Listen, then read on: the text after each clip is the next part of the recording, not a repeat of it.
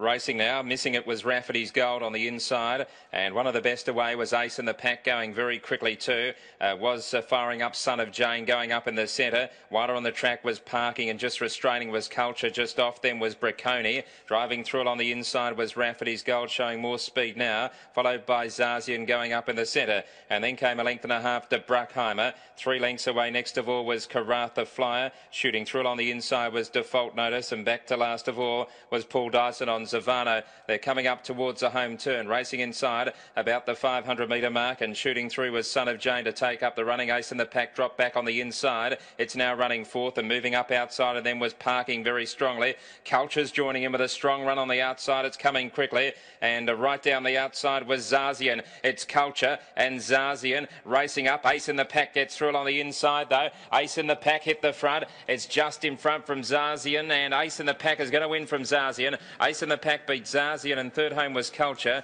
Wider on the track was Default Notice coming from last a nice run and they were followed by Parking just in behind them and uh, pulling up quickly there was Bracconi. A long way back too was uh, Son of Jane who weakened out of it and the last three to greet the judge here were Bruckheimer along uh, well back too by uh, Karratha Flyer and Rafferty's Gold.